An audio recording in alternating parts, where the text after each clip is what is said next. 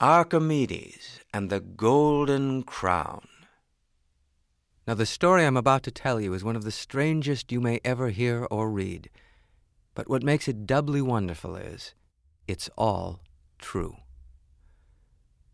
2,300 years ago, there lived two marvelous men in the same city.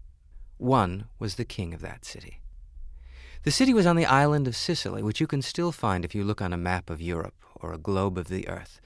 Look for the country of Italy, shaped like a boot, sticking out into the blue Mediterranean Sea, and just off the toe of that boot you'll find the island of Sicily.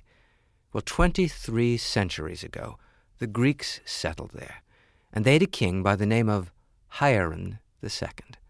Why was he so wonderful? Because in a world that was at war, Hieron had made peace with all his neighbors. He had also brought wealth from trade to his city and his country. And he had passed a series of laws so just, so fair to everyone, that he was universally admired. But despite all this, he still had his problems, as you will hear. One day the king called into his throne room a jeweler from his city. The king looked down from his throne and he said, Jeweler, I have decided that I need a new crown worthy of the king of this great land. And since you are a master with metals, I have chosen you to create this crown. Now, I will give you anything that you need in order to create this, to do your very best work. The jeweler bowed low and he said, Ah, your majesty, I am delighted. You honor me greatly. And I shall try to be worthy of your trust by creating the most beautiful, the most wonderful crown in the world. It will make you the envy of all the other rulers. Now I shall need. And he looked carefully at the king. I should say uh, seven pounds of gold. The king turned to one of his servants, and he directed him, Go to the royal treasury and bring back precisely seven pounds of gold. While the servant was away, the jeweler was gazing at the king's head from all sides and measuring it for size. At last the servant returned with the seven pounds of gold, and the king handed this to the jeweler and said, Now, I want you to take your time. If you need weeks, even a few months, just get it right.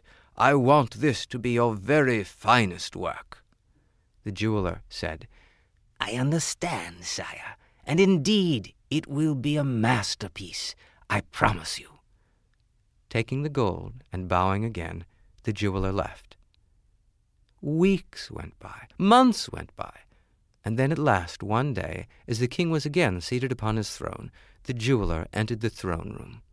The king's eyes lit up. Ah, have you brought me my new golden crown? Indeed I have, your majesty, and I believe you will be pleased by it. The jeweler was carrying a box. He opened the lid of the box and inside, sitting on some soft cloth, was the most beautiful golden crown. The king grinned, and he said, May I? Ah, it is indeed a thing of beauty, jeweler, and it, it, it fits me so beautifully.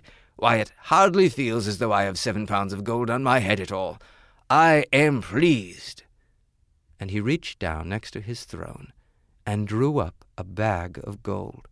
This he handed to the jeweler, and he said, This is for you, for the magnificent job you have done. Thank you. Ah, sire, indeed, I thank you.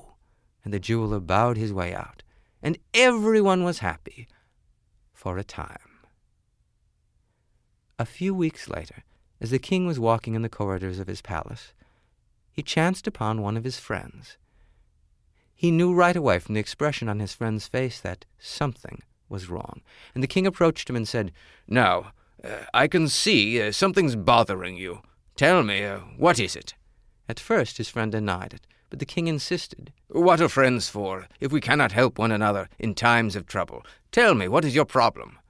But his friend looked at him and said, Well, strictly speaking, it's not my problem at all. It's your problem, your majesty. You see, Two nights ago, I was out walking quite late, and as you know, there was no moon that night, so it was very dark. I decided to sit down for a few minutes on a low garden wall, and as I was sitting there in the shadows, two people approached. The jeweler who had made your crown with his wife, and they were talking and whispering in low voices and laughing to one another. I. Well, I. Uh, go on, go on. Well, I hesitate to tell you, sire. I'm afraid it will only create a problem that you cannot solve.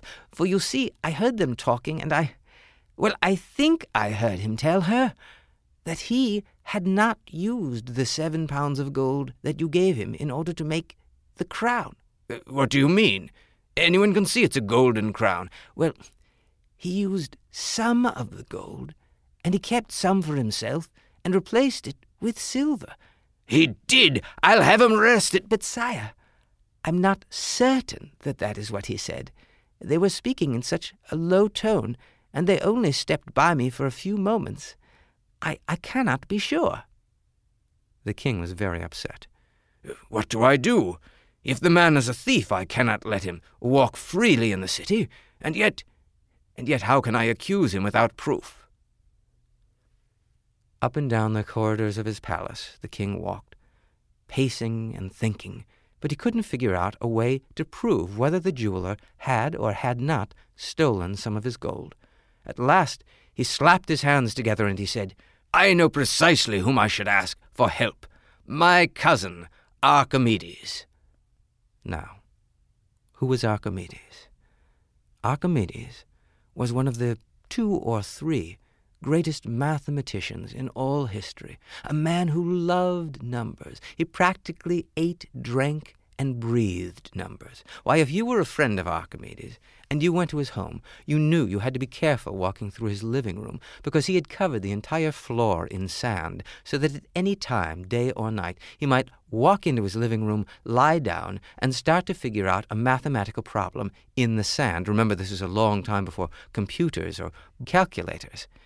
If you went to his home in the winter and it was cold, you didn't just walk up to the fireplace and throw on a log because you might find a mathematical equation there in the ashes on the hearth.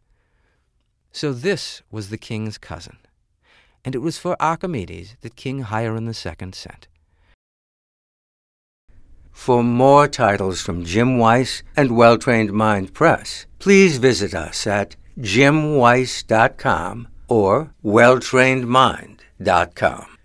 Thank you for listening.